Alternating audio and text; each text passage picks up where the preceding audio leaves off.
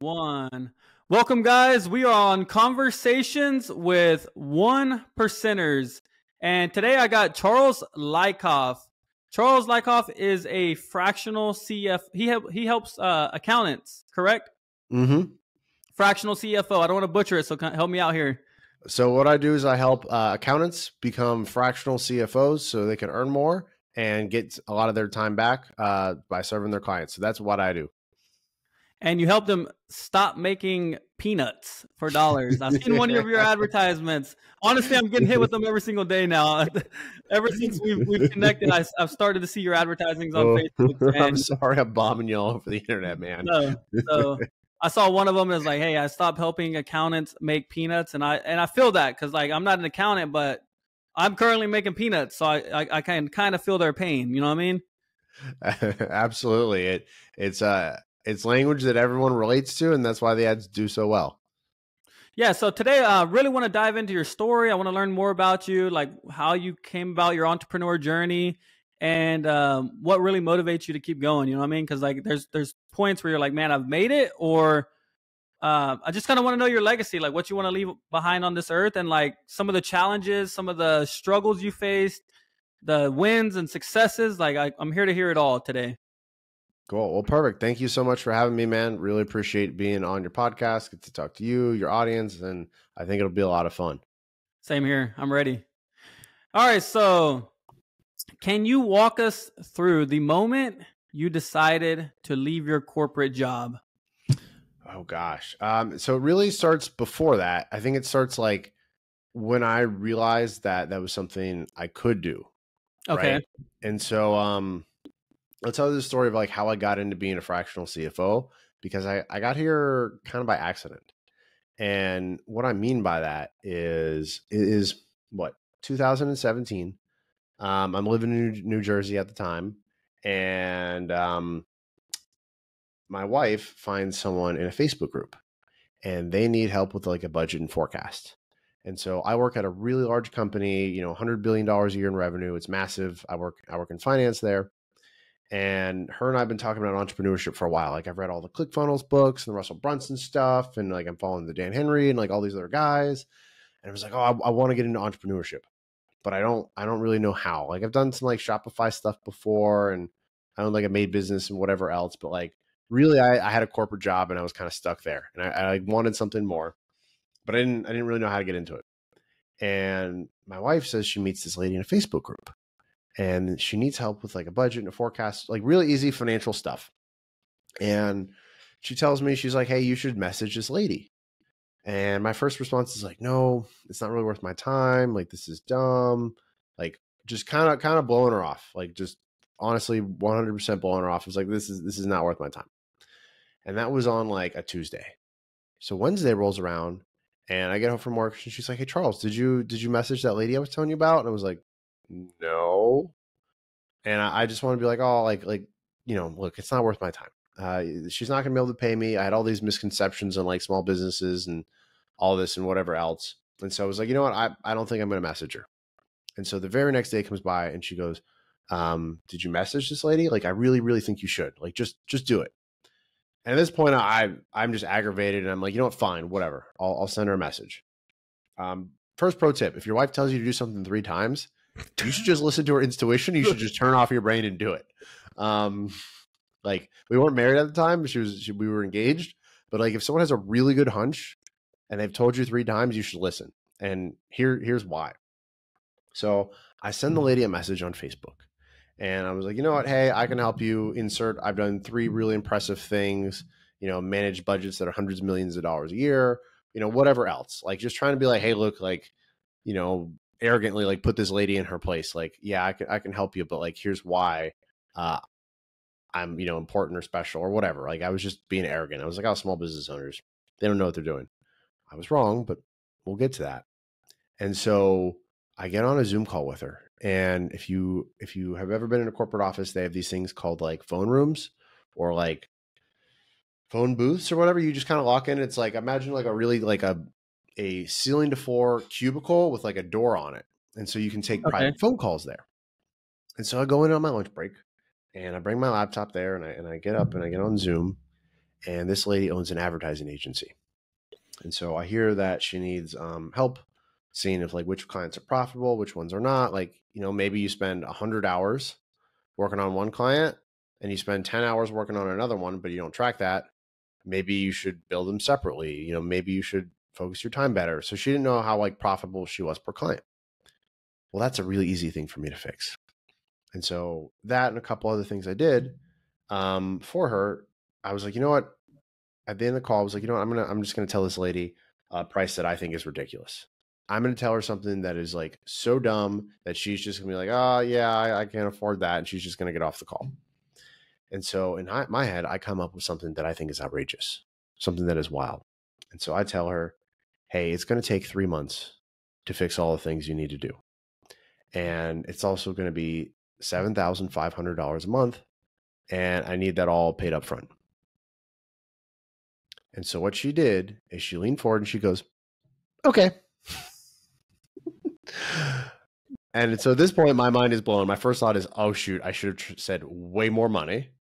Um, my next thought was, is I don't have a way to charge a credit card. I don't have a way to like mm. do any of these things. And so I, I knew I had to take down her credit card information. So I wrote it down on a piece of paper. And that was either like a Thursday or Friday. And over the weekend, I opened a Stripe account. And on Monday during my lunch break, I charged her. And so my first time working as a fractional CFO, I took the one hour sales call. And at the end of the one hour sales call, I collected $22,500.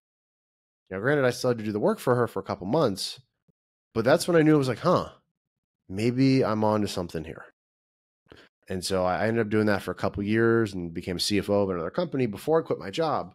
But that's like how I got introduced to maybe how people will actually pay me to do what I do.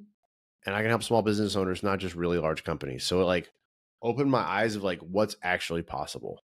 Um, so I, I hope I hope that makes sense. But I really wanted to like show you like finding out it was possible happened years before I quit my job.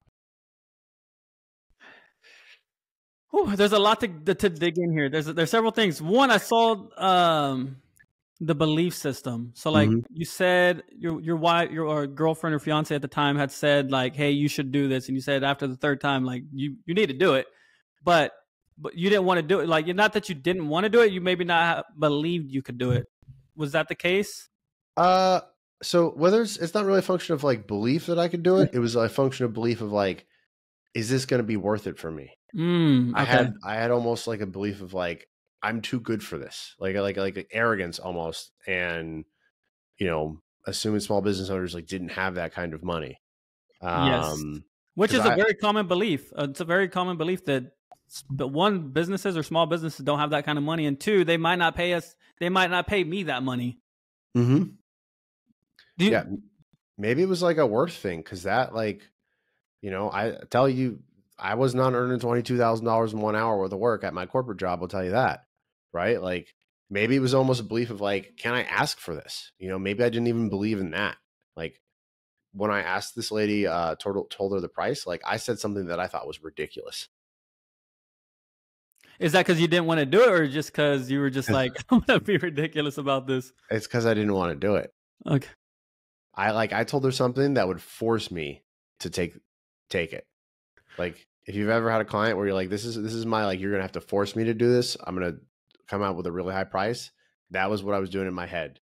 So I could go back and, tell my my um you know fiance now wife, uh, hey, actually, I was right. This isn't worth my time.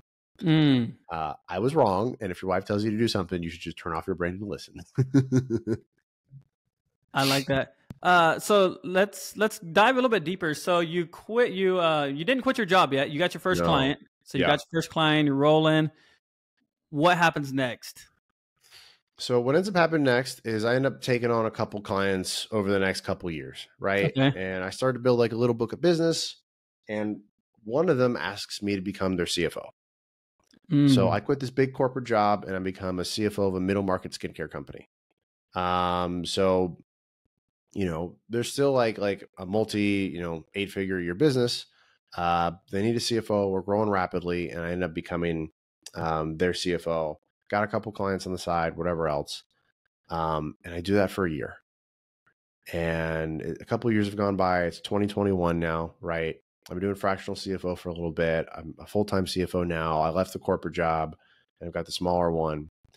And I find that I hate working for the people that I'm working for. I am working 80 hours a week at least. I am in uh, Fort Lauderdale, here's where I live.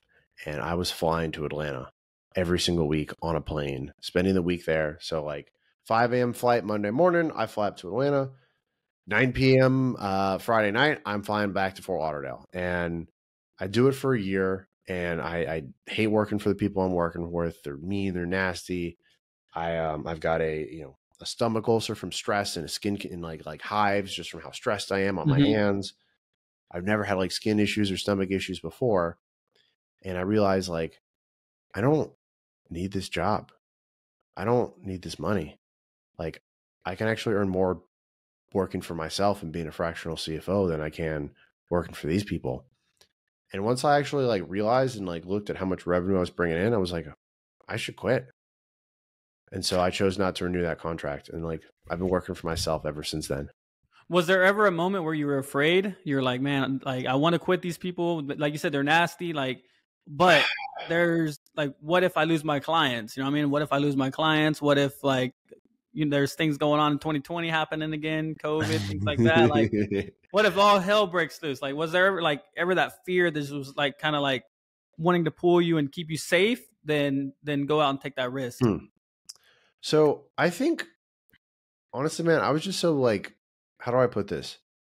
I was just so drained by it that like anything, anything you could imagine wouldn't be worse than continuing at the spot where I was at. Like, I, I think I literally said to my wife, I was like, say I try this and it doesn't work out.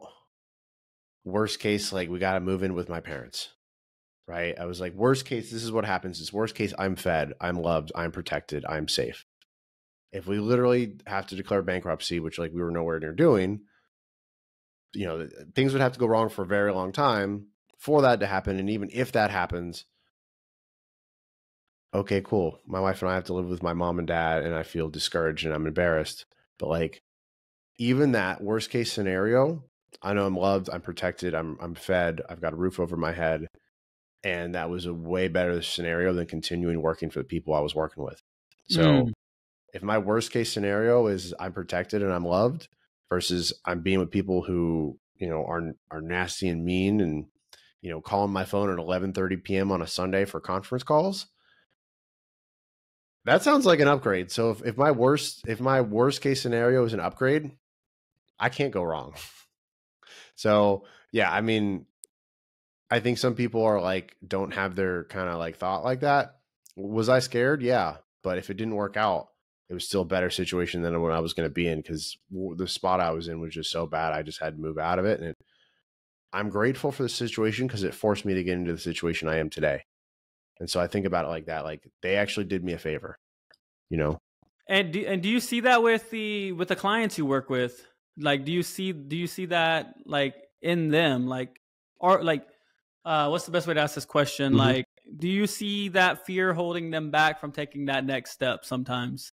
Sometimes, yeah. So I um I recently brought on brought on um, a lady into our program, and like what we do is not only do we do fractional CFO work for companies now, but I also help accountants like make that shift and work for themselves and kind of grow that business.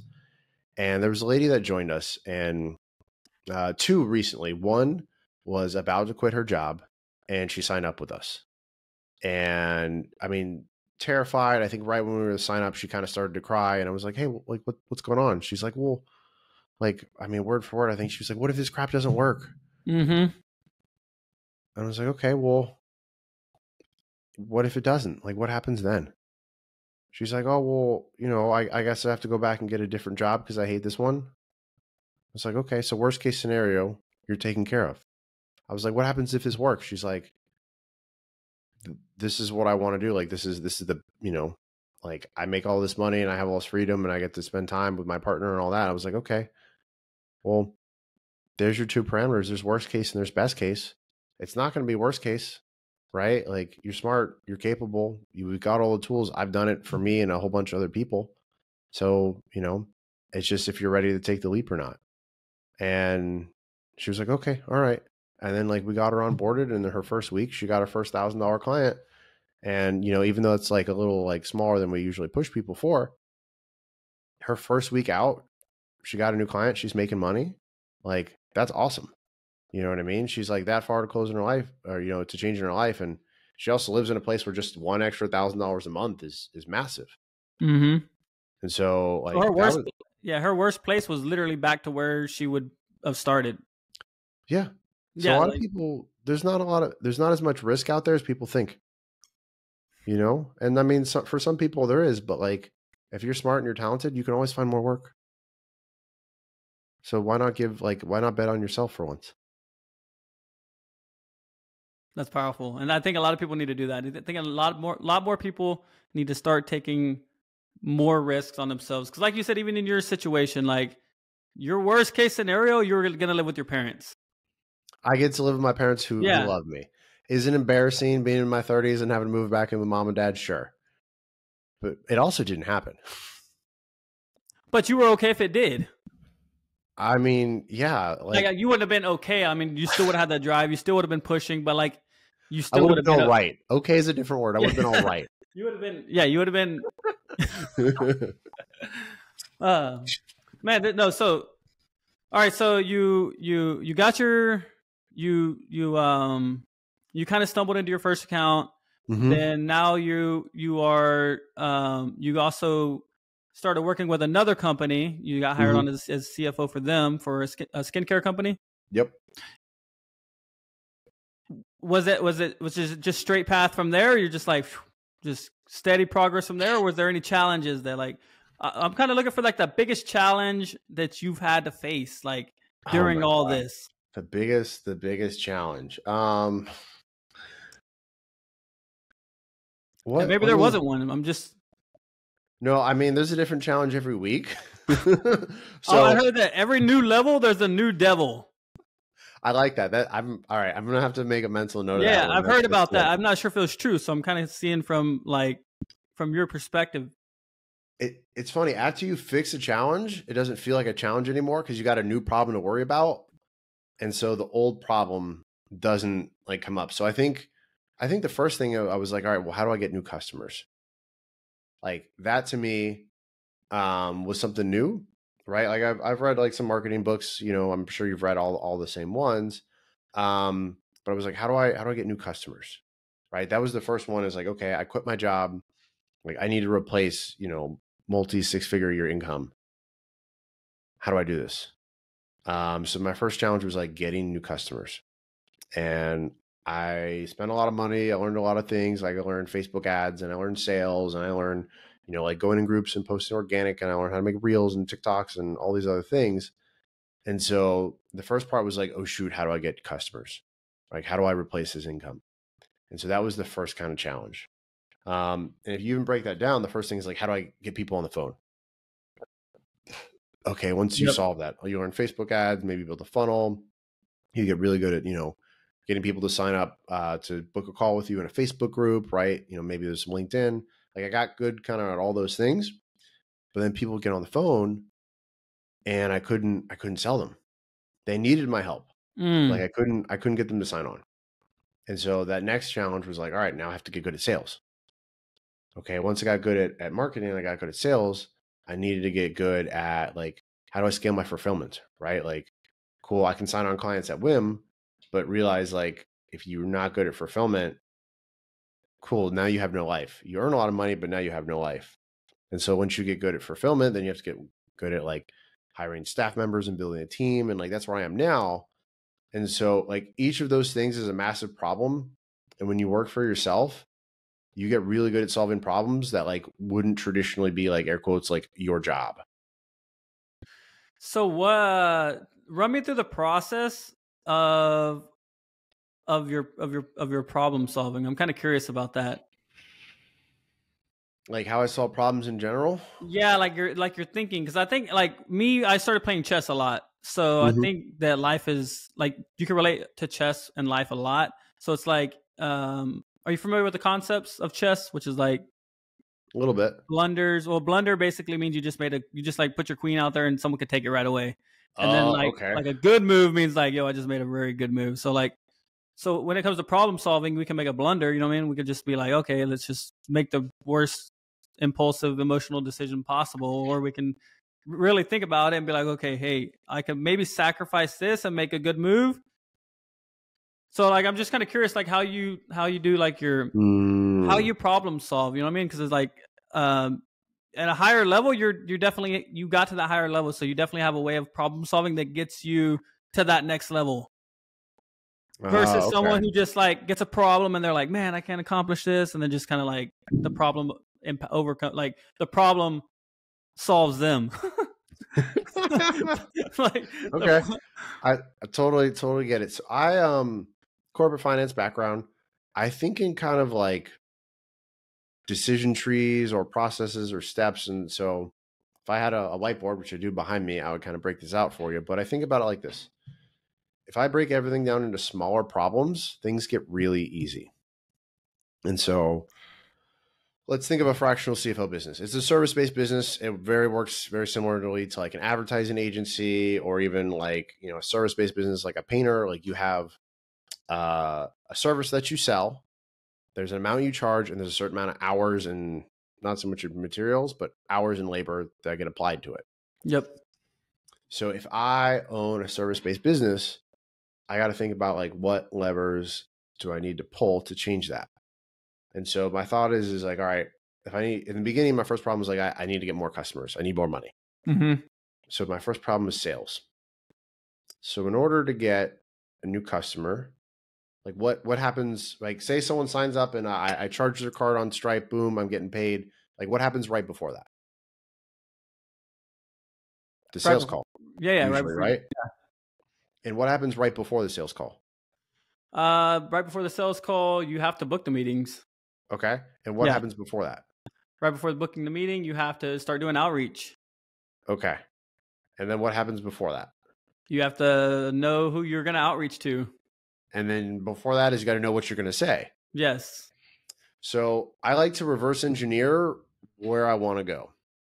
So um, if I want to sign on, you know, uh, 10 clients at $5,000 a month, that's cool. That's $50,000 a month. How do I do that? Well, that means I probably need to take more than 10 sales calls. Okay. So how many sales calls do I need to take? Let's assume, you know, I was like, all right, so how many sales calls do I need to take? Maybe like two out of every 10 people are willing to buy from me. Okay. So that means that I need to have 50 sales calls to sign up, you know, 10 people to turn them into 10 clients. Cool. So I need to have 50 sales calls. All right. How the hell do I get 50 sales calls? Right. And so my my thought before that was like, all right, well, I will find like where to go. And so for me, Facebook group is how I found my first client. I was like, all right, let me let me see how if I could find other clients this way. So I started posting in Facebook groups, you know, interacting, doing value posts, you know, seeing if I could solve people's problems, you know, uh, putting lead magnets out there, all those things. And I started interacting with people and I was like, okay, well, in order to get 50 people on the phone, how many people do I need to interact with? Okay. And out of those, you know, how many people do I need to interact with? Is that how many groups do I need to post in? How many posts do I need to make? And so I just tried to reverse engineer each of those things. And so if you spend 10 minutes thinking about that or any problem, I just reverse engineer like, how do I get to the solution that I want? And so for me, it was like, all right, if I need to have 50 conversations um, over a period of time, I probably need to make this many number of posts, um, this style, this number of place, or maybe spend this much money on Facebook ads or this number of LinkedIn DMs or this number of like Instagram reels, like whatever it was. I had to reverse engineer like the leading indicators or the drivers to the thing that I'm trying to get. And so any problem I have, I just reverse engineer it and then just work on those steps like one thing at a time. And if I do that, everything's easy because it's one thing at a time. Got it. Okay. So versus focusing on like the problem, you're you're kind of going backwards and going to the next the problem that's actually before that because that would probably solve that problem. Right. And, Okay, and if, okay. you, if you can solve things one at a time, things are really easy. if I tell you to go make a million dollars tomorrow, you're going to be like, but how? Okay, Sounds well, easy. yeah, it's like, all right, cool, I did it. But if you you break into those little buckets and those little levers to pull, well, then things get a lot easier and you can kind of get a plan and your dreams can become a reality. But if I just tell you, you know, Marcos, go be a millionaire tomorrow, you're like, um, excuse me, what? Like how? And so I like to focus on the how. Um, and then you can, you know, you can make things happen that way. So that's like how I look at every problem. Interesting. Well, if you want to make fifty thousand dollars as a fractional CFO, you can follow this formula. No. I mean, yeah, actually, yeah, yeah. I mean, but, like what yeah. the exercise just did is what what we do in our program. Like giving away the sauce. It's not it's not magic. We just yeah. hold your hand while you do it. Where uh where can they find your program? Like is is that are you using Skool like with uh, Sam Ovens? Uh, so we use Skool, but okay. the best way to find our program is look up uh, Profit Surge Group on Instagram or go to profitsurgegroup.com slash call. Those are probably the best ways to get a hold of me. You can find me on Instagram and ask me some questions. That that also works. So you said that's exact what you just what you just ran me through is what you're teaching in your program for uh, accountants. Accountants, yep. yes. Yeah, I mean that's one out of like fifty yeah. things. I know that's but... not all of it. That'll be ten thousand dollars. Yeah, um... yeah just, just, just watch this podcast. We're gonna have to charge you. There's gonna be a fee right before it. Um, that's one of the mindset things that we go over. Okay. And when you look over that, that's how like real this can be. And then so we come up with a game plan. How do you get those appointments? How do you sell those people? What do you charge them for? What's the place best place to get there? How do you get messaging that gets buyers instead of broke people? Right. So there's a lot more that goes into it, but that mentality of reverse engineering things is exactly what we teach people. And then we give them what to do on each little step. And what's the most common objection you're getting with uh, people who are ready to sign up? They're like, "Yo, I want to do this. I want to take my life to the next level. I want to be a uh, I want to make more money. You know what I mean? I want to quit my mm-hmm. job. I want to go to the next level. Like you're the guy. I know you're the guy. Like I know you can make you can take me there. But what's the most common objection that's stopping them? Uncertainty. So like they believe that it works, but there's just something there that they usually think like they won't it won't work for them. Like maybe it worked for you, Charles, and maybe you're special. And maybe it worked for everyone else in your program, but maybe they're special. You know, maybe they had a different background, right? Like, so there's the belief of like, I'm not good enough. I'm not smart enough. I'm not strong enough. Somebody's different than me is one belief. And the other one is, is like, okay, you showed me the general path, but I need to figure out exactly how on everything else. But if you knew exactly how, you'd already be there. Mm-hmm. Um, so uncertainty is a big one. Um, from a money perspective, like the ROI is there. Uh, we we never get like that complaint. Um, it's mostly just like fear holding people back, you know, and that's the hard part. Like sometimes people are afraid of investing themselves and making a decision to like move forward. But if you never do that, you're never going to leave where you're at. And like some people aren't meant to work for themselves, and that's okay. But if you think about quitting and working for yourself all the time, it's the only thing you think about. But the only thing holding you back is fear. Well, like callously and almost, yeah, I mean, this this hurts to say, but like it's your fault of like why you're not where you want to be. And if you keep making the same decisions, you're going to get the same results. Um, and so sometimes people are just afraid to do something different. And that's that's the thing I have the biggest empathy for because I was forced into this situation and I got lucky. Of like my life was like, hey, maybe you should do this, maybe it'll work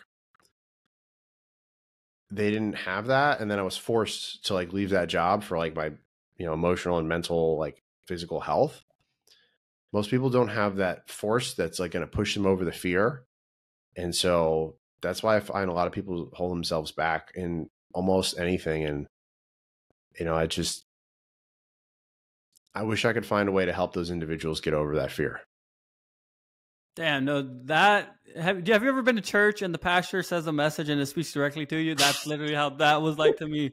I felt every like I felt that in my soul. I literally felt that in my soul. I'm just like, man, like dude's he's literally calling me out. I mean, look, you're doing the thing. You're, yeah. you're creating the podcast. You're getting in front of people. You know, like I know what did we speak for like an hour and a half last time we were on the phone? Yes. Um, you know, you're you're getting over that fear. I think when we first talked, you're like, I just need to take action. I think you said that like Action. five times on that call. Yeah, just action, action, action, action. Because I know the fear fear is the opposite of action. So if I'm in fear, I'm not taking action. And and I think like like you're saying, like if, if you're afraid and you're and you know you should do what like you need to do what you're you know you need to do that fear is stopping you from doing. Mm-hmm. And just and go with it because the worst literally honestly you were overthinking it and the worst the worst that's going to happen you're going to wind back and maybe have to stay with a relative you might you're not going to be homeless like it, it's all it's all in our head Yeah, I you know, and, and some people they might even be homeless, but like, is the worst thing always going to happen every time? You know, like have some trust in yourself. Like, give it a shot. You know, and like fall back maybe onto another job the worst like because if you're a hardworking person you can get another job anywhere if you're really smart and talented, and you have a network, uh, you maybe it's not your dream job, but you can get a job. That's Like, what i'm I- saying. so worst case scenario you get a job again and then you're back to not square one because you made some progress so you're just back to like working a job but with progress that you've made with the months that you that you quit and and actually tried this thing. Yeah, and like we haven't had anyone who's quit their job and joined our program and had to get another job. how how important is all in like for for the people you're working with? Like how how important is that? Uh, I mean, man, that's like, what's the what's the phrase? Like, burn the boats. Like, if you're if you're gonna what what are you? If you're like a, a Scandinavian Viking, right? You're gonna go invade, you know, the United Kingdom, like like or, or you know, I guess I guess it was England at the time. Um, like burn the boat behind you. Like like you stepped off the uh, off into the land, like you're invading. Like burn the boat behind you. You have no other options. Like you can't not succeed. Like if you've overcome all these other things in your life, and you're to force yourself to succeed, like you'll get there, you'll do it. We just guarantee that you'll get there a hell of a lot faster than you would on your own. Um, and we give you all the tools, but like all in is all in is massive. Like if you put in half the effort, you're going to get half the results. Well, you know, a lot of people aren't okay with half half the results. So like don't put in half the effort, put in all the effort to get all the results. And I found with effort, it kind of works like this. Like if you do half-assed effort, you don't really get any results. But if you do 100% effort, you get 100% of the results. mm. So like I just encourage people whether they're trying to start their own fractional CFO firm or, you know, or starting their own podcast like you, like don't do anything halfway. If you do it all the way, you're going to get big big results. If you do it halfway, like you're just wasting your time. Like go do something else, go get a job, like whatever. You know what I mean? So I would recommend like do it do it all the way. My business didn't really start to grow until I was forced to go all in. And so if you can manufacture that feeling for you, like that's massive. That is that is so massive. Powerful. No, that's powerful because uh, there's several people I follow, like Sam Ovens. You're you are you know who Sam Ovens is. You're on Mhm. Skool. He goes all in on everything he does. It's scary. Yeah, I know. He quit like a multi-million dollar business to go all in on Skool. So it's like you don't think he was scared at that level? Like, who wants to just throw like get rid of millions of millions of dollars? Like, there's there's fear at every level. Uh, with that being said, uh, I got a question for you. Do you think life's a game? Um, I mean, yes and no. When people say life is a game, So like and you have to build your character to get to that Um, next level. oh gosh. So like in in a way like it is because there's always like things that you can learn or things that you can do or whatever else um that you could like play with. But at like the same point we're only here so long. Like I wouldn't I wouldn't call it a game. Like life is serious. Like you only have so much time on this planet. Like I don't know if I'm going to wake up tomorrow. Mm. And so is it a game? Is it a function of like I have inputs and I'm looking for different outputs and I want to see what happens and this is cool and there's no rules and I can experiment with whatever I want? In that function, yeah, life is a game. But if it's a game, do you not treat it seriously? I don't know. I mean, my days are packed from eight to eight because I have goals and I have places I want to be. um, and I like want to spend time with my family. So like I have like everything set.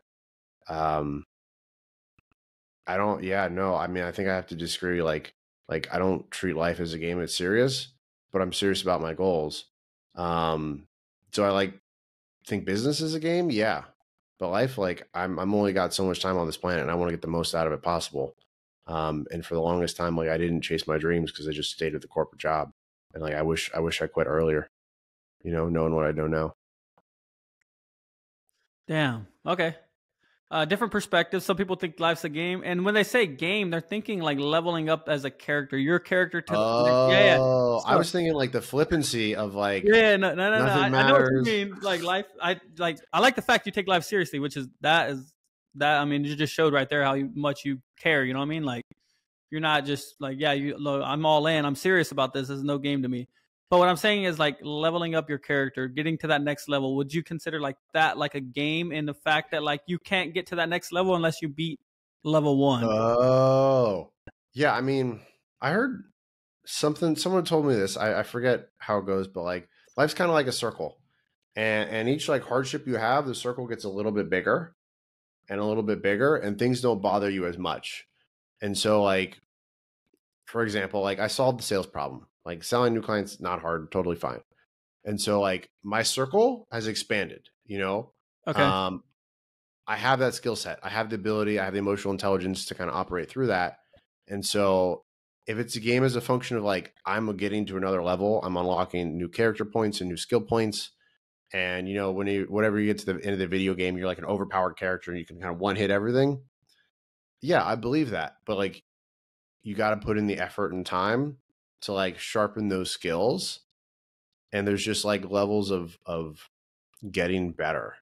So I, like there's plenty of people who are at a levels past me and i'm like all right what do i have to do? What are they doing? How do i get there? What books are they reading? Who are they talking to? You know what things are they doing? Um so i think about it like that way um like that makes sense as, as, as a function as a game to me. Like there's always like another like thing i can progress to is there ever a point where you're like, okay, I'm I'm done progressing? You think there will be that point where you think you're just all like, no matter what, you're like, I mean, when I'm, I'm gonna, dead, sure. I have to keep going. Like, I have to keep pro- progressing. I mean, I I'm like a very curious guy, so I always want to learn and I always want to grow. I don't think you're ever really done. I think when you're done, it's kind of when you're dead. You know, your your brain's a muscle, right? If you don't use it, you lose it. So I, I hope I never think I've arrived. Like I want to be teachable for the rest of forever. Cause like, dude, I don't, I don't know everything. And like, that's totally fine. All right. So we, we, we're, we've, uh, you, you were, we're at the point now where you, we talked about you had your, your first client, then you, you moved on and, and your next phase. Mm-hmm. What was life like? I'm kind of curious. What was life like before that? Like let's let's kind of go backwards now. Mm-hmm. Like prior to that first client, let's maybe even say college, maybe even say like just further back. Like I want to, I'm kind of curious, like what, like, like what even got you into what you're passionate about in the first place? You know what I mean? Like how did like your journey, like, okay, yeah, yeah, where yeah. you are now? Like, cause like you wouldn't be where you are now if you didn't learn the skill, like for the most part. Yeah. So I'm not saying you wouldn't, because so that's actually uh, rude for me to say. But like, I'm not saying you wouldn't be where you are now. I'm just saying I would be doing something different. You would be doing sure. something different, correct? Yeah. Hopefully, I would be doing just as well as that as I am here, but who knows? Um. So I've always been like a really curious kid. Like I was one of those kids who got in trouble for reading, you know, in school about a different topic. Like I've always trying to like learn, and um, you know, I went I went to school and I, I graduated from University of Florida and there's something about finance that I loved um, that got me really into it, and it fits with my like natural curiosity and my ability for like conceptual thinking. Um, so in finance, there's there's only really two rules, and is like, is it possible, and like, will people buy it? Outside of like, is it is it legal? Is it moral? Like like th- those are a baseline of character. We're we're just assuming that it's there. Um, but in the in the realm of finance, like, is it legal? Um, and and is it possible? And will someone buy it? And so, like anything you want to create, you can, um, because finance is the study of time and money and how they relate to each other. And to me, that just seems like esoteric. Like I love um, the conceptual thinking around that. And so that's what drew me to that. And so my wife will tell you, like during college, I would read so many finance textbooks that were not like uh, prescribed as part of the courses. And I would, I would, I remember sitting on the beach with her in like 2015 or whatever, and just explaining um, some like financial concept that I, I learned. I think, I think this was after school, um, and just like her just listening to me like just nerd out. And she, I remember just being like, "I love you. I'm, I'm, I'm so, I'm so glad you find these things interesting." And like, I'm so grateful she'll listen to me talk about stuff like that. But like, that's that's me in a nutshell. I want to learn everything, and I'll just go on a rant of something I learned in some book. Um, so I think like the thing that's driven me to there is really just like my natural born like curiosity. Like I just want to know all the things. Because finances aren't sexy, you know. What I mean, it's not it's not that sexy thing that you're like everyone no. wants to talk about. And honestly, it's the most like one they don't teach it enough in school. So you no, get out of right. school and you literally just have no clue what to do with your finances. Uh, I'm speaking me for example. Like I got out of school and I just literally blew all my money, like every penny.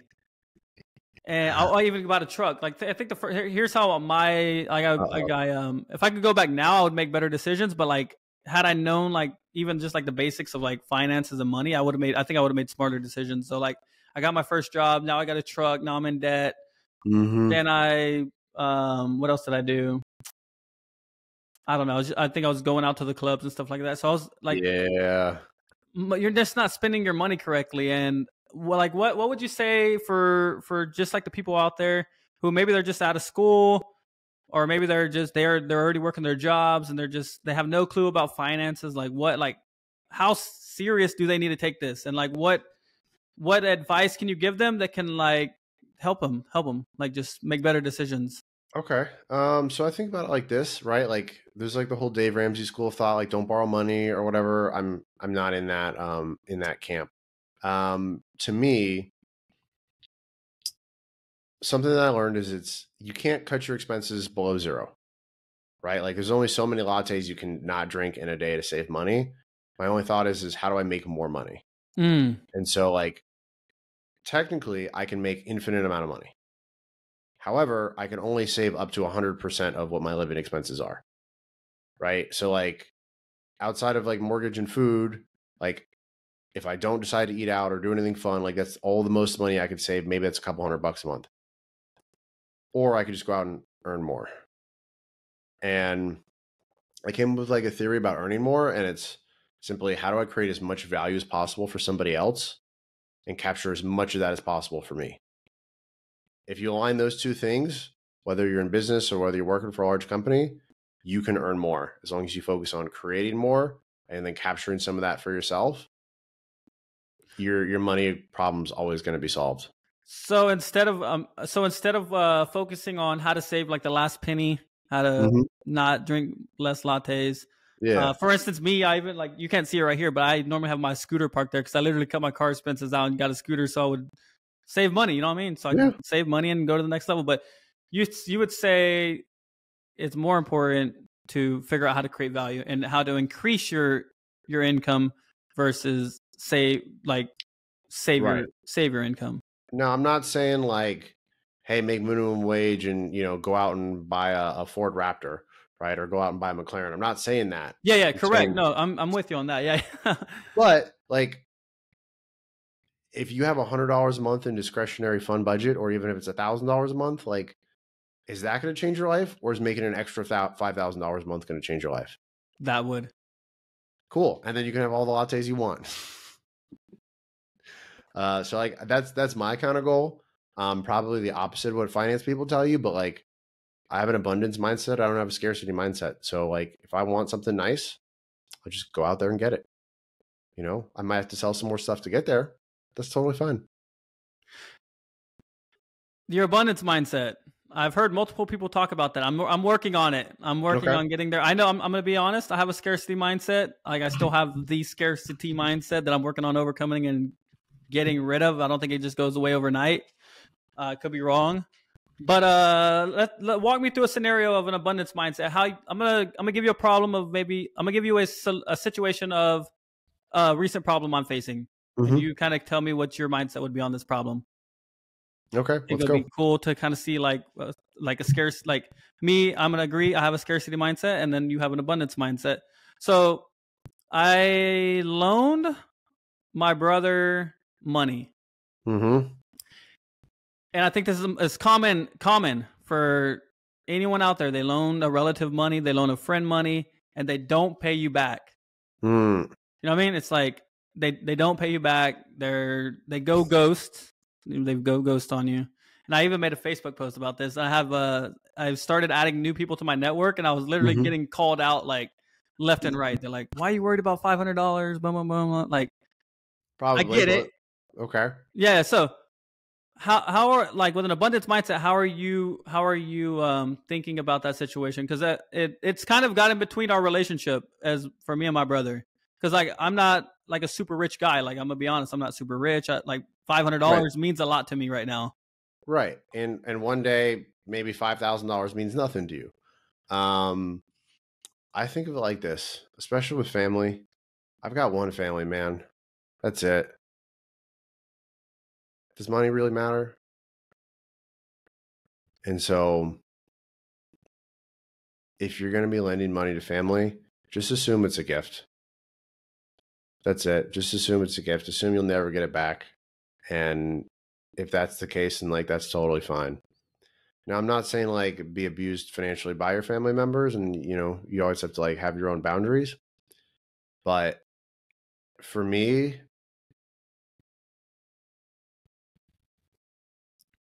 anything that could stand in the way of me and my family member, if it's money, I'm not going to let that bother me. Now, would I lend him money again? Probably not. but would I assume the first five hundred dollars is a donation to your to your your brother's uh, fund for whatever he's doing with it? I would also assume that, and then just never lend him money again. But if you're ever going to do that forward, you know, just assume it's a gift. Like that's that's what I would do. But yeah, I don't want to get super into this, but I have a brother and he's longer here. So if I could pay five hundred dollars to bring him back, like I would pay five million dollars to do so. So when you're asked like, should I get in the way? My answer is like, no. Just don't lend him money ever again, and assume that you you learned a five hundred dollar lesson, which is don't lend him money, just give him money. Fair enough, and I think that I think that could like if you give it to him, you're not going to be thinking about it no more. It's not going to be on your mind. It's yeah. like it's gone. But if you if you have that like I want my money back mentality. It's just like, gonna ruin your day. You're gonna be thinking about it all the time, and like, man, that's your brother. You know, like, uh, don't don't don't have that feeling anymore. You learned a lesson, you know, and maybe maybe it's like enough to where you're like it stings a little bit now, but in the future it won't. And like maybe that's just a good motivation for you to go out and earn some more money. Not to say he doesn't owe you money anymore, but maybe that's some good motivation to like, you know, build out your offer all the way you want to and, and something like that you know so that's that's my own personal thoughts i think everyone has their their own um that that subject's just like kind of touchy to me and individual but man i've i've really appreciated you having me on today and like being here it's been really cool to like dive into everything that we've talked about i just want to let you know like definitely appreciate the the conversation we've had today and the the other day no same here i've i've enjoyed every moment of it uh, are we done? Are you? Yeah, I got I got to jump. Okay, okay, fair enough. Yeah, I um, dude, really, really appreciate having you on. I didn't realize I scheduled something back to back, um, with this. So I would love to love to keep keep going. Um, but I I didn't, I didn't realize we kind of jumped in this kind of slow. Um, would love to talk about kind of some more more stuff, but this has been this has been really cool. You're you asked really good questions, man. Appreciate it. Thank you. you. You asked really good questions. Like obviously, I can tell you put a lot of work into this for sure. We're back, Charles. Welcome. Hey, round two. Round two, love it. Glad I'm here. Round two. Uh, appreciate you coming back on. I know, like you said, you had a short notice, not not short notice, but you had things you had to do yesterday. So appreciate you coming back on, like coming back on. Uh, depends on how the this how long this episode is. We might clip it up in two two versions, so we'll kind of just uh, gauge with that. Um, but uh, what I what I meant to ask you yesterday, so I, I, started a new ritual, and I wanted to do this at um, which was Wednesday, not yesterday. Mm-hmm. I have a, a new ritual I wanted to do, which was I was going to ask a guest at the end of each show to ask a question for the next guest. And I got this from another podcast and I thought it was really cool. But since uh, you had to jump off early, I switched the ritual up to start to ask this at the beginning because I think if I ask it at the beginning, I won't, one, I won't forget because I'm known to forget things. But uh, two, just um, biggest thing is won't forget. So um, our last guest had a question for you. Okay. And but before I ask you that question, I want you to think of a question without knowing who the next guest is. A question you would like to ask them. Oh gosh. Um. Okay, I've got one. Do you want me to tell it to you? Yes. All right. What's what's the book that has changed your life the most? The book that's changed your life life the most. Got Yeah, it. and, okay. and why? I want to know the story, of course. The story on what changed your like uh Yeah, like like like what book changed your life the most, and like why did it change your life? Like what did it do? You know what I mean? got it. Okay. Perfect. Yeah. And all right, so our the question for you is if you could wave a magic wand and solve the most pressing problem in your life right now, what would that be? Oh, the most pressing problem in my life? Oh gosh. Um that was pretty good. Uh what's the biggest problem in my life right now? If I could just solve it, be instantly fixed. Um right now I'm like hiring a lot of people, Okay. and that's great. But the thing is is when you hire someone, it takes a lot of time. And then so you're thinking, "Oh, I'm going to hire all these people and things are going to get so much better." right? Because uh, they can do the thing and I can't do the thing. Which, which you don't realize is when you hire someone, your life gets way more complicated because not only do you have to do the thing, you have to train people to do the thing at the same time, and you have to get good at like making sure what's in your brain goes over to their brain. And so I am in a phase where I'm like hiring a bunch of people and like putting it over to them, and it's taking way more time than I thought. Usually, like I have a good like work life balance, and right now I don't um, Mm. simply simply because that's something like I'm I'm solving right now, and that's like kind of the next level because I own own the two businesses here, and one of them I haven't had people like it's like employees is kind of new, and the other one I've been had employees for for a while, and so if I could just fix that, I would buy so much of my time back. Um, and that was the point, but I'm actually negative time right now. So that's like the most pressing thing to me today where it's like boom if i could have these guys trained up and ready to go and, and perfect that would be like the biggest fix for me right now in my business like finance and sales and marketing like all that other stuff's good but it's just getting the new people on and getting them fully trained and ready to go so like if i had to think of something that's that's probably the biggest thing for like today And I have a question for you on that. So Mm-hmm. on on hiring employees, if you hired an employee, like just say you hired someone, right, and you had them do a like a specific role, just say for instance sales role, Mm-hmm. and they weren't able to to fulfill that role, you know what I mean? They weren't able to fulfill the the duty, they weren't able to get clients. I'm curious, who's who's uh who's at fault there? Is it the business owner or is it the employee? Um, usually, so first of all, like if I hire someone, usually I've asked them like a ton of questions. I think it's a good character fit. Um, I think like you can't teach character, but you can teach technicals. Mm, okay. So I can't teach hard work. I can't teach on teach honesty. I can't teach you know like respect, kindness. I can't teach curiosity. I can't teach like things that are the core of your being. okay. I can teach technicals. So somebody's not performing, it's usually my fault. So I'm always like, all right, what information did I not give them? Did I not give them enough training? Was I not clear enough? Did I not set better enough, good enough expectations? Did I didn't give them the right tools? So now I don't really understand it from their perspective. Like if I'm the business owner, everything is my fault always. Because if it's not my fault, I can't fix it. If it is my fault, well, then I have control over it. Therefore, I can fix it. And so nine times out of 10 is the business owner's fault, not the employee's fault. Okay. And so after you've crossed off all nine of those things that you can do better, then maybe it's an issue of is the employee really the best fit for this? And again, if they're not, well, you hired them. It's also still your fault.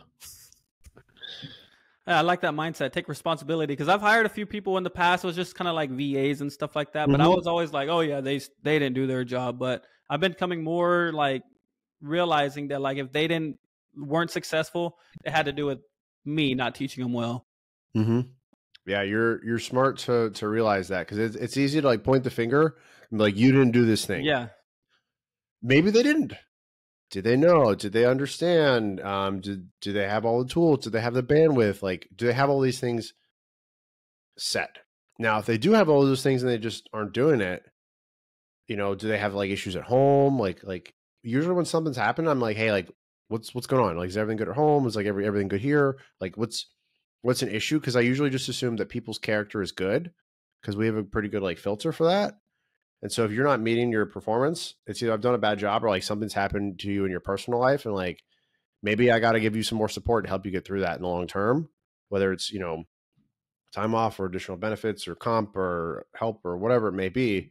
Um, you know, I want to see people succeed and I, I like to keep people for the long term and that involves like actually caring about them as a person. They're not just like an employee, like they're part of your team, you know?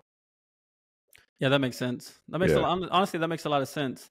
So we we left off on the podcast. I was asking you a question on on um one percenters. It was, the the question was more along the lines of like how do one percenters think? Um, and I was thinking just the other day, I was like, how uh, like what's the biggest thing like it takes to be a one percenter? Like what is that thing where it really takes to like if you have this, like you have a chance of being a one percenter. So what do you mean specifically by one percenter? One percenter means like you are like no matter what you're gonna rise up to the next level. Like you are you don't you're not gonna stay like living an average lifestyle. You're gonna you're gonna rise up. You're going to go to that next level. And if you had this like I'm not saying it's only one skill or one mindset that's going to get you there, but if you had this, you have a better chance of of rising up. Mm, okay. All right. So what's like what's like the number one thing that is going to allow you to kind of like get to that next level kind of back to your like game question correct um hmm what's like the number one thing uh man there there are so many different things um so i like so many things come to mind when i think of this and out of all the people i've coached out of all the clients i've had who've been successful out of the you know the people who have like i've done their their books for versus like i've helped grow their business or whatever the number one thing that determines whether you're successful or not is is mostly your mindset. And it it sounds it sounds crazy, but I can get on the phone with someone and in 10 minutes I can I, I can understand why they're not where they want to be in their life. Mm. They have a negative attitude. This won't work for me. I'm not smart enough. I'm not good enough. I'm not special enough. I don't, you know, deserve money. You know, that like someone else had it easier than me. Right. Like once you clear all that stuff away, it just work right and so like anybody can work like you know sit your butt in a chair get on the computer or you know get out and create or whatever you're doing and anybody can do that but like what's stopping you from putting that time what's stopping you putting that effort you know if something bad happens to you like do you go oh no what was me or do you go okay well next like i'm just gonna look at the next opportunity and so the biggest thing that i see that hold people back is having the wrong mindset and so the people that i see as successful is they have the right way to think about things, which is there's a it's an abundance mindset. There's going to be another opportunity. If I mess up, congratulations, I got to learn. You know, and sometimes those lessons are really expensive, and that's okay. But if I can do better tomorrow than I did today, and it's only based upon if I want to do better for myself and not like competing against other people, I'm going to improve every single day. I've made massive mistakes. I've lost a ton of money and I've also like made massive wins and made a ton of money. But like of those mistakes that I just stopped and was like, oh, I guess working for myself isn't for me. I was like, well, shit, this didn't work. okay, fine. Let me try something new. Like next, and just wake up the next day. So having the right mindset, you're a lot more curious. You know, you don't know everything. Um, you're willing to work a hell of a lot harder. Um, and you like treat people with respect and have this thing called emotional intelligence. So I understand mindset is really like a catch-all answer, but just how you think about things is the biggest determinant that I've ever seen for anyone ever. You know, there's a reason why people rise to the top, and sometimes it's luck, but usually they got something else going on there. It's usually how they think. So uh, the mindset, everyone is born in different environments, right? I think their environment can also affect your mindset too. What the type Huge. of environment you're you're in, the family you're born from, how your Mhm. parents their their traumas are going to be brought onto you. So now you have generational trauma. Um, what does it really take to like to catch and tr- and uh, change? Because like most people might not feel like they have a problem, and I think that's where it starts. Is like they don't feel like they have a bad mindset. Ugh. well, I mean, let's let's do a diagnosis. Let's see if you have if like people do have a bad mindset. Let, I'm let- ready. let's- No, let's diagnose Let's look at me. that, right? When something bad happens to you, what do you do? when something bad happens to me, I let's see, what do I do? Mm-mm-mm. Can like think of it? Like, give me a bad example, like something like like Okay, say you go and we, you know, you film five podcasts this week, and then you go to your computer and you find out your hard drive is like fried. All the podcasts deleted, damn, I'm gone. gonna be, I'm gonna be ups, very upset. I'm like fuck, because I'm like one, I just didn't like we did our interview and I'm feel like I, I'm gonna feel like I let you down. I'm like I just let everybody down. I wasted all their time. Like this is bad. Okay, so that's that's there. What are you going to do after that? Uh, what am I gonna do after that? Um, hope to message you and say, man, like I hate to say this, but I just lost all of our one hour of footage. Sorry, Yeah. but like, are you are you going to try again, or you just be like, "Ah, I guess podcasting's not for me? in the past, I would quit. I uh, my last podcast that I did whenever I first started podcasting in 2017, Mhm. I went to the next shiny object syndrome. But I, I have more of a mindset now to where I'm like sticking to this and and going full force. Okay, so like, you know, to use your vernacular, somebody who's uh, in the top one percent of performance, results, mindset, income, whatever, whatever, like the top one percent uh, is um, for you, like that person is going to be, well, damn, that sucks. All right, um, can I fix it? Can I go send it to somewhere to get it changed? Uh, you know, can I like get the hard drive restored, repaired? No, okay, can't do that. All right, well, sh- you know, I'm going to communicate effectively to everyone. Hey, these are the this is the problem. This is what happened. I'm really sorry. I would love to shoot with you again if you you've had me. If cool. If not, like I understand. You're going to do that, and then you're going to wake up the next day and you go, all right, well, I'm going to keep going, and it's it's not going to stop you, right? You're just gonna you're just going to shrug it off. Um, I read this book. I forgot the title of it, but there's a chapter called the theory of next. So anytime if something really bad's happened to you, you just think next. Like, okay, what's next? Like, I'll try it Mm. again. There's always going to be another deal. There's going to be another podcast. And so, like, when bad things happen, are you letting it get you down? Are you blaming it on other people? Like, you know, you mentioned your brother yesterday. Like, what if he drops your laptop and he dropped it in a puddle, right? And like maybe that ruined it. Are you going to be mad at him? Yeah, a little bit, of course. You'd be like, dude, dude, it's my laptop. What's going on? But like, okay, the next day, are you still going to be mad at him, or are you going to get to filming again? Mm, okay. So like, just just just get back to work. Bad stuff happens all the time. And so what? That makes sense. No, I've been honestly, I've been trying to develop a mindset like Muhammad Ali. Like, I look up to him and like the way he, I feel like the way he like, I, like in the beginning, I really didn't recognize it. I was just like, okay, Muhammad Ali, he just like fucking has all these. Ch- I thought they were like chants, like, oh yeah, like I'm the greatest, float Mhm. like a butterfly, sting like a bee. But like, there were really things that he would say. I'm not sure where he got it from. I wish I knew, but Mhm. um, he has it, and I feel like that propelled him to to to be the best and go to the next level. Because without that mindset, he most likely wouldn't have won as many fights as he did.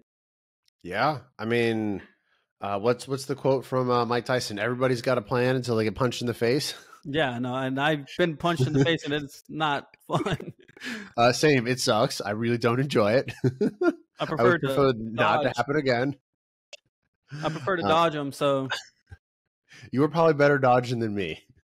maybe, maybe before in the past, I, I at least trained a little bit, but now I'm just like, nah. I will. See, there we go. I'm gonna say I'm not as fast, but I am fast.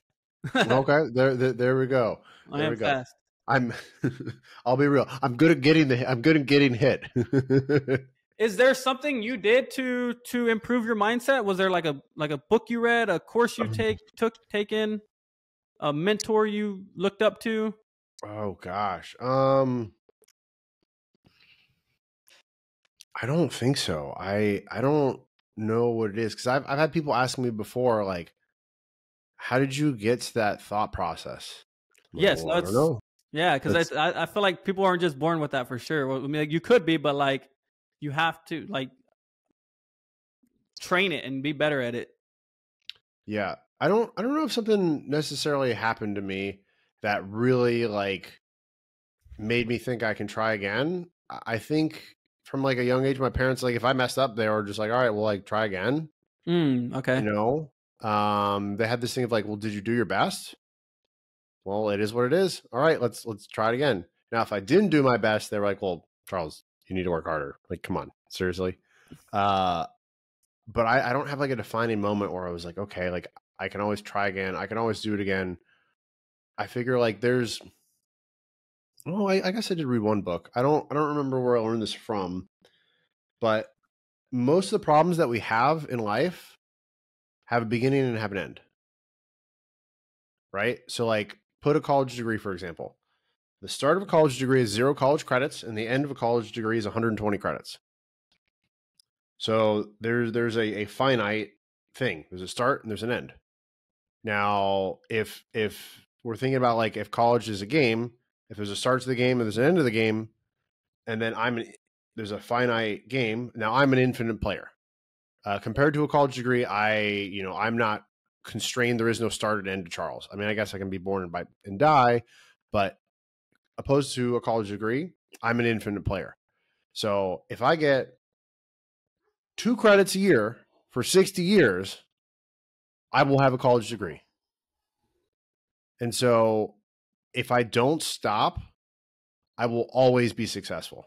Mm, It's not a function of if, it's a function of when. And so I think about it like this almost every problem I have in life, I'm an infinite player and there's a finite game, meaning it's not when I'm going to make this or earn this or achieve this accomplishment or, you know, get this fit, right? Like it's when I'm going to get there.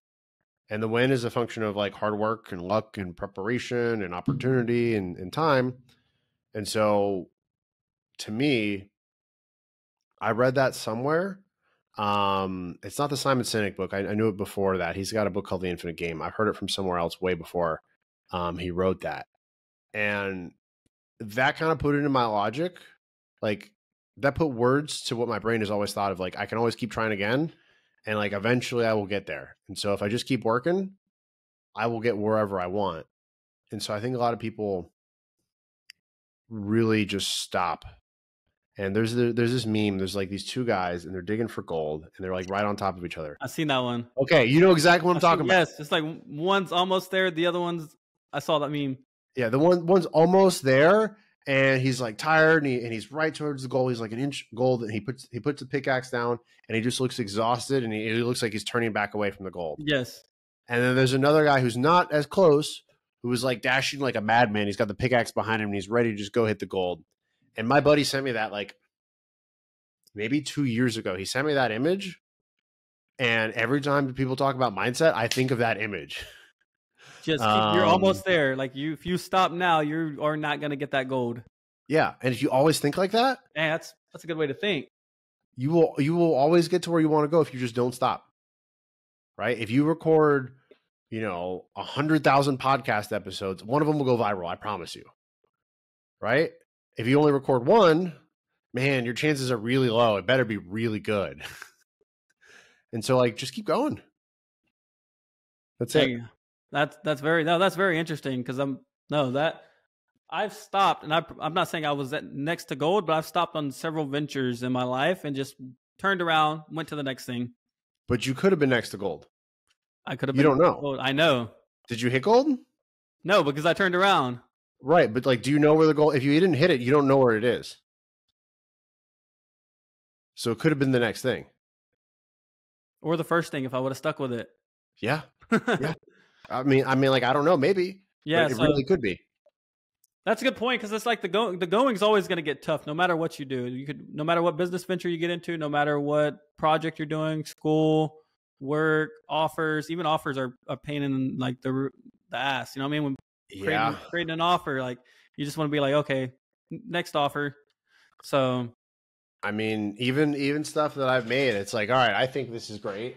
Does does the market think it's great, right? And you know, like I would buy this. Would they? You know, sometimes there's things that I like that the market hates, and there's some things the market loves that I think are stupid. But you know, that's why you let the market decide, not you.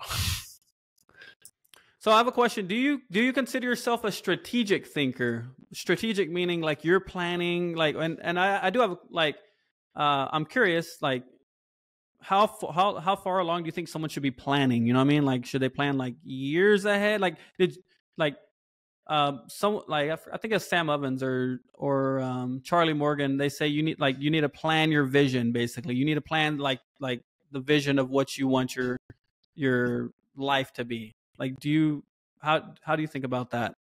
Okay, so I I think in in two two kind of separate ways, right? And so the first one is like I have I have long term goals. Okay. And I read this somewhere is people who have long term what is it? I'm gonna butcher these stats, so someone's gonna go look it up and be like, Charles, you're wrong. um, so I'm gonna preface, I'm I'm wrong already, but the stats are directionally correct. So they did a study like Harvard, and like 80% of people had no goal and like 20% of people who had a goal um got like most of the results right? They got like 80% of the results. And then 3% of the people who wrote down their goal got better results than everybody else combined. Mm. and so uh when i was from i don't know like 2010 2011 nah maybe it was like 2000 yeah 2010 2011 i wrote down goals Okay. And I wrote them like one, three, five, ten, and lifetime year goals, and I put it in a plaque, or I put it in like a, uh, a picture frame. Mm. And so I put these goals in a picture frame, and I signed the bottom of it. And so I typed it up in Word, signed the bottom of it, put it in a frame, put it in my room. Forgot about it. Uh, I went back to my parents' house, and you know, of course, like everyone knows, after you move out, like every couple years your parents like oh here's a box of your stuff. Have fun. Like put it in your house. Thanks. Um so i got one of those those beautiful packages where i'm like oh where am i gonna put all this stuff? And i look through the box and there's that plat there's the uh the picture frame with my goals in it. And so that was 2010 2011 it's 2024 now.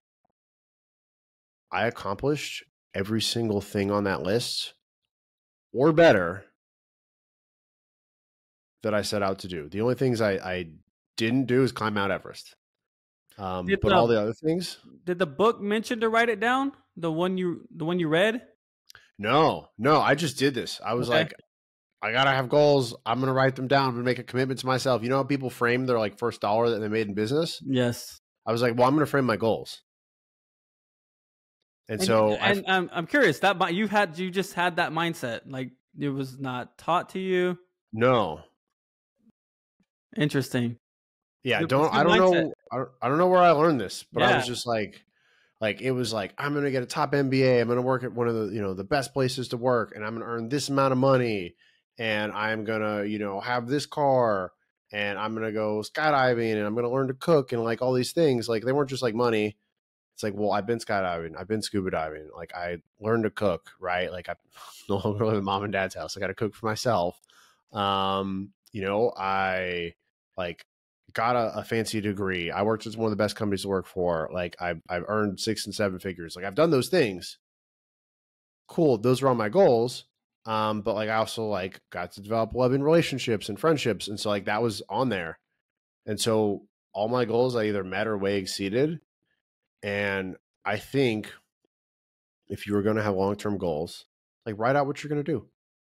Write out what you're going to do, make a commitment to yourself and then like break those up into small steps. So like I, you know, I'm a finance guy, so I have like a business plan and one month, three month, you know, six month, twelve month goals and all the steps to get there. Um, and that that's like a that's like a big deal. So when I think of goals, like that's that's what I do. And like speak your truth out into the universe. If you say it out loud, it has a much better chance of, of staying true than if you don't say it out loud. Like what's what's something that you have like a goal that like you you that like it scares you to say it out loud? My goal? Yeah, it sounds scary to say it out loud. You're like, oh man, I don't I don't want to yeah, put this. No, I'm, I'm gonna say it right now, but it is scary the way you say it. I want to make five million dollars per year in business. Okay, is that profit or revenue? That or, is uh, total revenue. Okay, total revenue. So you got to be specific on these things. Okay. Okay, because what what if you spend four million nine hundred ninety nine thousand and ninety nine cents, dude? You made one penny. All right. So how much do you want to take Profit, I home? want it. I want to be sixty percent profit margins. Okay, so you want to take home sixty percent profit margins, so that's three million dollars. So you want to put three million dollars in your pocket. How much is that a month? Ooh, see, That's uh, two hundred and forty nine thousand dollars a month. Right, three million divided by twelve. All right, yeah, two hundred two hundred fifty thousand dollars a month. Yeah, that that goal scares me. So you want to put two hundred fifty thousand. So you want to be able to buy a starter home, not not in South Florida, maybe, maybe probably not in Austin either. But you want to be able to buy a starter home somewhere in the country every single month. Yes. Okay, that's a good goal. So you should count your revenue and number of houses you can buy per month. I like. I didn't. I never thought about that, but that's that's pretty cool. Finance. Uh, I, I do have some, some questions about finance. Uh, let's Uh, roll. One, because I literally grew up and uh, like we we talked about in the, in the first uh, segment, which was like they don't teach you finance in school, No, so we're literally destined to fail. Yeah. Um, do you believe that someone who knows finance is has a better chance of success than someone who just goes to school to be a doctor or like a lawyer? Uh, okay, so I mean, like doctors, lawyers, and finance people, we all kind of think we're smarter than each other. So obviously, like I'm gonna, I'm gonna definitely state that. Like we kind of, kind of rub, rub shoulders. Throw engineers in there too if you want. Um, Well, the re- the reason I say this is because like you get NBA stars. I can even put NBA in there. Is you like you get like NBA star boxers, things like that. Mhm. They make massive amounts of money. Mike Tyson, for instance, and then next thing you know, they lose it all, and then they fight people like Jake Paul. I'm, I'm really excited to see Mike Tyson kick the absolute crap out of Jake Paul. I don't know if he's, if he's gonna throw the fight. I really hope he doesn't. But I would love to. s- I'm, I'm very excited for that. I don't, I don't know when that comes out. I'll have to look it Um, up. July twentieth. I'm not promoting this fight, so But, but, but if you are, pay him an affiliate commission. yeah, Um, I will be uh, watching the fight for sure. Free on it's free on Netflix. Oh, really? Yes, free on Netflix. Oh, oh shoot! All right, all right. Well, I know what I'm doing July 20th for sure. I'll throw a little little party at my house. Everybody's invited. Um, sorry, what was the question? Oh, uh, like Yeah. knowing about money. Yeah, money because like you get you get people like I said, you get the the the boxers, you get the NBA stars, and they make tons and tons of money. But they were like even them, like you would think people like at their level, they're super successful. They ended up blow, blowing all of it. So, what's been really helpful to me, and like I do, I do fractional CFO work for people who own businesses. So, I have clients who make 20 million dollars a year in revenue who come to me and have no idea what they're doing. Mm. Like Damn. no idea what they're doing. You'd think they would, but they don't. Um, which is okay because they're good at selling the thing or doing the thing, but the finances a said thing, not so good. And that's okay. But if you know your numbers and you understand finance, nobody can take advantage of you. It's like a car and a mechanic and, a, and a woman. Both of those are going to take advantage of you because there's something called information asymmetry, Is they know a hell of a lot more than you do about those things. Um, especially the second one; those are dangerous. Um, all, all, all jokes, all jokes aside. Yeah, yeah, yeah. Um, Joking. Don't cancel us, please. I, dude, I'm, I'm married. My wife's not going anywhere. You can't, you can't. You, yeah, she's an amazing woman. You can't cancel me on that. Um, so it's it's exactly like going to the mechanic. If you out you go out and you get a loan or you sell some equity in your business or you raise some debt, if you're sitting across the table from somebody like me versus somebody who doesn't have that experience, if I want to act unethically, what's going to stop you? You don't even know what I could do or what I couldn't do. Mm. You know, you hear about all these times that people get loans like merchant cash advances or other things, and they think it's a good deal. And then I show them the math and it's not. They're like, well, it, it made sense at the time. And I'm like, yeah, well, that's why you don't have any money. And so one of the things that it's really important to me is like intellectual honesty or, or, or the lack of intellectual dishonesty. And so, which is, is like, if you're engaging someone in business if people don't understand what you're doing, you can hide what you're doing. So like people go to the, go to the car dealership all the time, and there's always the joke of like the the the guy in the military who goes and gets the the Hellcat at thirty percent interest rate and all this other stuff. Um, you know, just like the the joke of that is like the finance guy at the car dealership is taking advantage of the people there. And so a lot of people don't know that, that they may be taken advantage of, they may not be based upon the credit, whatever.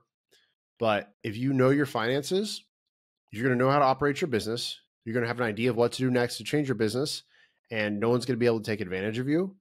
And luckily, like not everyone in the world is going to take advantage of you who knows more about you on the subject. Otherwise, I could never get my car fixed. I could never go to the doctor, right? Not everyone's out to get you. But if you know just enough to be dangerous, you know when something doesn't really make sense. And as much as it's important for everyone to know your finances, like that's that's why you hire people like me. But you need to know enough to be dangerous, maybe not enough to be an expert. And you can that can be so powerful um, because a you'll never get caught with your pants down. B like you'll know when to hire someone be like all right like i know enough to know that this isn't good. I need someone to get here and to like do all the all the math for me. And so and is there a book really you important. recommend to get to know that level like just to get that basic understanding or course or like just no, you, i mean You're, I've, we're screwed I've, we're screwed. if you if you saw my wall over here it's full of finance textbooks so if I could like distill those down, that would be great. I, have thought about doing like a, a finance for e-commerce dummies kind of course. Um, that would be helpful, but I haven't seen anything that's just like a general introduction that I would recommend mm, um, to other people. Uh, oddly enough, Khan Academy has a bunch of finance courses, and those are free. Uh, I took those back in the day. That's helpful. But any sort of education you can get, like get your hands on it. Like get get reading. It's not sexy. It's not fun.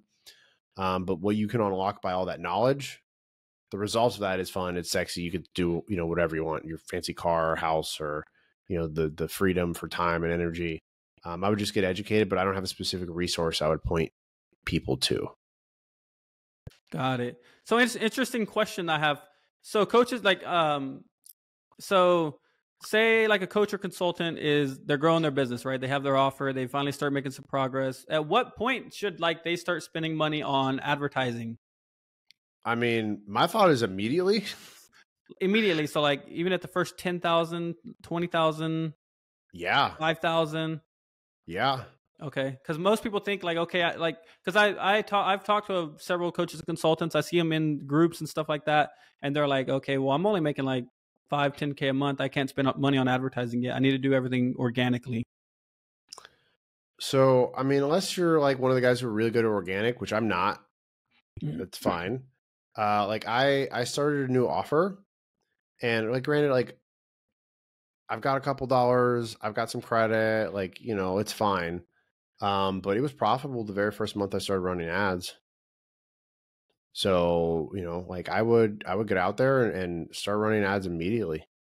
You know, get in front of calls, make sure your your like calls are, you know, like a like a decent cost. Um, but as long as you have a good offer and you can start running ads and get in front of people, like I would do that immediately. I mean, yeah, do the whole organic thing. And again, this isn't my experience, but like to get to 50, you know, thousand dollars a month with ads is not hard. Like it's not. Just get good at getting people on the phone and get good at selling them. And you know, if you can get 20 people on the phone, uh, you know, sorry, I'll do easy math. 10 people on the phone for less than half the cost of whatever your thing is that you're selling. Well, you're you're almost guaranteed to make money. Right? If you sell something that's imaginary numbers, you know, 10 people on the phone, and even if your calls are are $500 a piece, that's five grand. Okay. You only need to sell one of them to double your money. So why wouldn't you spend money on ads right now? By the way, $500 a call is really expensive.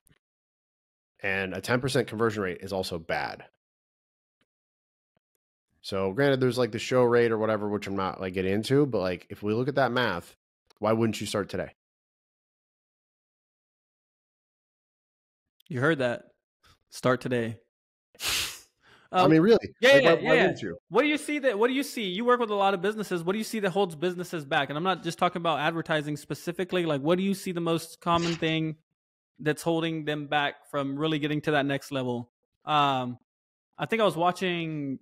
Who was I watching? Um, it was it was a group, a mastermind group that I was a part of. But a lot of them were like, everyone wants to go to like the next level. So it's like you want to go from like 50 to 100k. So hmm like what what do you think really holds them back from like getting to those levels is it because they set a small small goal in the first place Uh, so it's a different thing at every like level, and also for different businesses.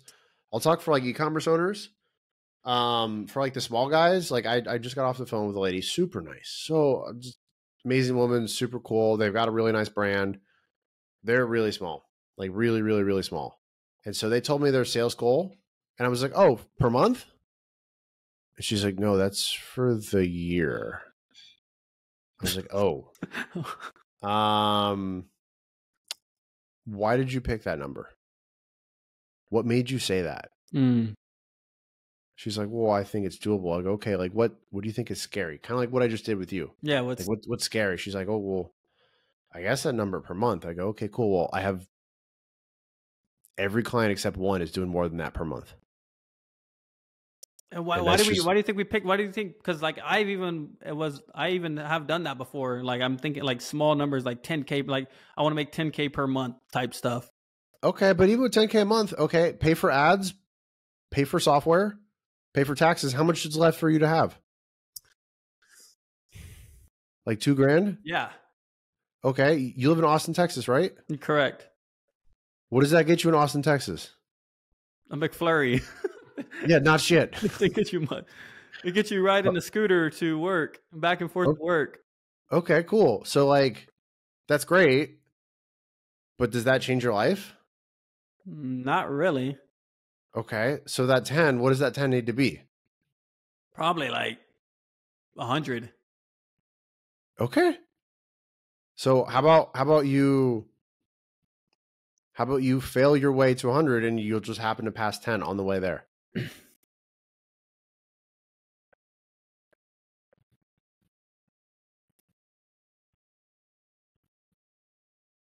different different sort of thinking, huh? It is. Yeah. So back back to the thing is why do people? Why do you think we pick those small numbers? I'm curious. Oh gosh, I'm Mm. sorry. Whenever I hear small number, my brain just doesn't want to believe it. Um, that's why I immediately go on that exercise. Like, That's that one. Yeah. That's that one percenter mindset. The, the Um, man, I don't even. I mean, people just people just they want to do what's safe. Okay. Yeah. but, like, mm, Even even like picking the 10k example, that doesn't actually get them what they want, but they they they they think it's safe, so they go ahead and do it, and they think it's believable. Mm. Like you can do what you believe. So if you just change what you believe, which again, like sounds like you're gaslighting yourself, but it kind of is true and it kind of works. So do it. Um, people pick those small numbers because they're afraid. Maybe they have weird beliefs about money. They think they're not worth it. They think they're not good enough. They're not smart enough. This person over here is making all this money, and I'm not like them. Or you know, like I've had that I'll- mentality too. That like the that that that the person I'm learning from is way smarter than I am. like Yeah, but that's not true. I know. that's I not know. true at all. I'm just saying, like that's the kind of mindset Mhm. that I can see because I'm like looking up to him like a god. I'm like, oh, like you're the. that's that's a problem I feel like we have in the like the online information space. So like that guy who's doing 100 million a year, he puts on his pants the exact same way I put on my pants, the same way you put on your pants, one leg at a time. And so if you think about it, like I so I don't I don't know the numbers, but like the smartest person you've ever met and you, they're not that much smarter. Maybe they're 10% smarter than you at most. At most Mm. at most. So if the smartest person you've ever met has only 10% more raw brain power than you, first of all, is the smartest person you've ever met also getting the best results that you've ever seen? The answer is probably not. I would you wouldn't know though because you don't really you can't really see into their business. Yeah. Yeah, not not not exactly, but I've seen some businesses that are really large. And let me tell you, they, they are not the smartest people that I've ever met. Are they like uh, so? Sure. Is is it like um who is that guy? Henry Ford. Is it like the Henry Ford type thing where he's not really that smart, but he was able to like pull levers of the smartest people he had around him and be like, okay, I'm not smart, but like I could just call this guy and he knows the answer for you. I mean, that's part of it, but I I think of it like this: like if you want to be um successful, like not being smart enough doesn't really matter because there's not a big difference between like our average intelligence between people. So if between you and the smartest person you've ever met, there's this much of a difference, being smart enough can't hold you back. Right? If there's a if there's a you know a 10 or 100 times difference in his results to your results, but he's only 10% smarter. Okay, so it's not that. So he must be doing something different. He must have a different mindset. He must be thinking different. There's also people who are not as smart as you who have much better results. Same thing for me. And so, like, we have all these weird beliefs. And I think people have all these weird irrational beliefs that come from our parents, come from trauma, generational things, things that we happened as kids, weird beliefs that are not true. We all have beliefs that we like. If I say them out loud, I'm like, Charles, it's dumb. but we believe it anyhow. Um, and that's where like going to therapy and hiring a coach and all that stuff goes through. Um, I was, I was, I was on a call with a with a guy in my space last night, and super cool guy. He was like, the biggest thing that holds my clients back is their mindset. And I was like, yeah, same, same here. Okay. So that's what holds people back from getting to success. That's what stops people. That's why they pick those low numbers. Is is just it goes back to their mindset, man. They just need to change it. I hate to give that answer, but it's yeah. Like, so if it's the biggest thing people can take away from this, literally this whole conversation is change your mindset. We we had a con- my wife and I had a conversation the other day, and she's like, Charles, we think in really big numbers. I was like, well, what do you mean? She's like, oh, well, I'm trying to do this in my business and blah blah blah. Like she runs Google Ads for a living, right? And um, you know, she was like, oh, it's just it's it's just like seventy thousand dollars a month. It's like not a lot um, of like what she was talking about. And I'm like, hey, you you realize like most households, not people, but households in America only make about forty-eight to fifty-two thousand dollars a year. So seventy thousand dollars a month is a lot. Is an insane amount of money. And and she said that out loud, and I I don't remember like what she was specifically talking about, but we become when you get to a point where your mindset's elevated, uh, large numbers just don't faze you anymore. And you're like, all right, I, I only did 60K this month. I'm trying to be at 120. Like, damn it. And so just thinking bigger and you'll reach a lot higher. Like if that's that's like the biggest cheat code is the theory of next, which is if bad things happen, just go next. I'll try it again and think bigger than you've ever thought, and you'll make bigger decisions. Mm. That's that's if people get anything out of our our conversations, it's just shoot higher than you think you deserve, and I promise you, you will get past where you you think you deserve and past where you want to be. And it's it's worked for me. I, I found it thinking like that by accident, but like your life kind of changes into whatever you make it, and you'll start making those decisions like unconsciously. That's powerful. I want to like end it right there. I, I, wish I could pull my mic and just like drop it because like that was like that, was a, that was good. That was very good. No, I, I love that.